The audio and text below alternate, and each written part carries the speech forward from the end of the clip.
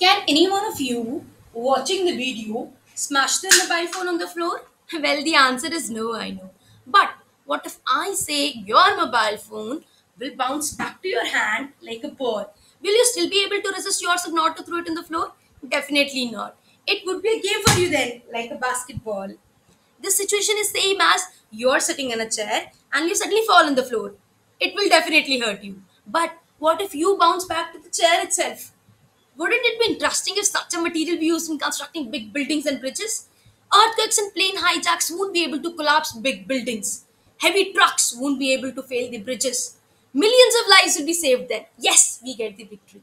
But how to continue this bouncing process forever? Well, my research aims to achieve that. Before understanding how it can be done, we'll just see the background. When stress is applied in the material, that is bulk metallic glass, a cluster of atoms move together to form a shear band.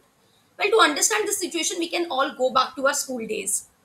During our lunchtime, we all must be scattered everywhere in the classroom, like the atoms in bulk metallic glass. Now, after a lunch, we decided to play tug of war game. We all will divide ourselves into two groups. One is here and one is there. Now, if stress is exceeded by this group, this whole group of children will fall in a line to the other end, and this line will be called shear band. If shear band moves from one end of the material to the other end, catastrophic failure takes place, and thus we have to lose that bouncing process. But if somehow I introduce an obstacle or a barrier in front of the losing party, this party will not easily move to the other end, and hence this process will go to the victory. So, in my research, I have introduced the second phase or the obstacle by heating the material till a certain temperature such that I can get the melt. Now, I cooled it slowly so that the second phase can be introduced, hold it for some time, and then just cool it rapidly. By that way, second phase will be generated and this will hinder the propagation of shear band. The situation is same as you must have seen zipper. This can easily move from one end to the other end. But if one link in the chain damages, you will not be easily moved this to the other end.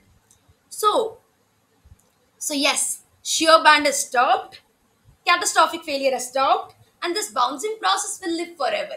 So now, not only we are a step closer to construct big buildings and bridges, but we have a material that promise us to keep us and our loved ones safe at homes and while driving. Thank you.